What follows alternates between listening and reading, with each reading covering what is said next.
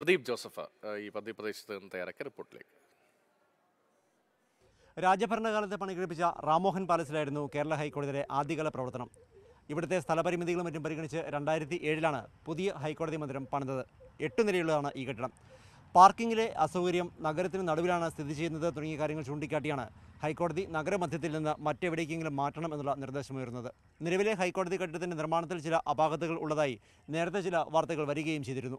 ഹൈക്കോടതി മന്ദിരം നഗരമധ്യത്തിൽ നിന്ന് മാറ്റുകയാണെങ്കിൽ കളമശ്ശേരിയിൽ അതിനുവേണ്ടി കണ്ടെത്തിയിരിക്കുന്ന നിർദ്ദിഷ്ട സ്ഥലമാണ് ഇത്. ഇന്നലെ പദ്ധതി നിർദ്ദിഷ്ട പ്രദേശം സന്ദർശിച്ച സംഘത്തിൽ ജസ്റ്റിസ് മുഹമ്മദ് മുഷ്താഖ് ജില്ലാ കളക്ടർ നിയമവകുപ്പ് സെക്രട്ടറി വില്ലേജ് ഓഫീസർ തഹസീൽദാർ തുടങ്ങിയ ഉന്നത ഉദ്യോഗസ്ഥർ ഉണ്ടായിരുന്നു. കളമശ്ശേരി നിയമസഭാ നിയോജക മണ്ഡലത്തിൽ എച്ച് എം ഡിക്ക് അടുത്ത് കളമശ്ശേരി സഹകരണ മെഡിക്കൽ കോളേജിനും മറ്റും അടുത്തായി ആണ് നിർദ്ദേശിക്കപ്പെട്ടിരിക്കുന്ന സ്ഥലമെന്ന് പറയുന്നത്.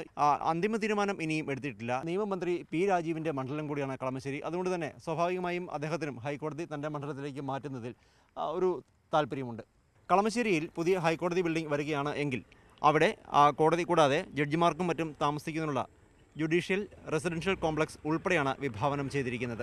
ദേശീയ അന്വേഷണ ഏജൻസിക്ക് വേണ്ടി പണി പൂർത്തിയായി വരുന്ന കെട്ടിടമാണ് ഈ കാണുന്നത്. അതിന്റെ മതിലിനോട് ചേർന്ന് ഉൾപ്പെടെയുള്ള പ്രദേശങ്ങളാണ് ഹൈക്കോടതിക്കായി കണ്ടുവച്ചിരിക്കുന്ന മേഖലയിൽ വരുന്നത്. ഇവിടുന്ന് തൊട്ടപ്പുറത്താണ് കളമശ്ശേരി മെഡിക്കൽ കോളേജ്. അവിടെ നിന്ന് അല്പം മാറിക്കഴിഞ്ഞാൽ ഭരണകേന്ദ്രമായ കാക്കനാട് സിവിൽ സ്റ്റേഷനിലെത്തും തൃക്കാക്കര മണ്ഡലത്തിന്റെ ഭാഗങ്ങൾ. ഈ ഭാഗത്തേക്ക് തിരിഞ്ഞാൽ കളമശ്ശേരി റെയിൽവേ സ്റ്റേഷൻ ഒപ്പം ആലുവയിലേക്ക് പോകാം.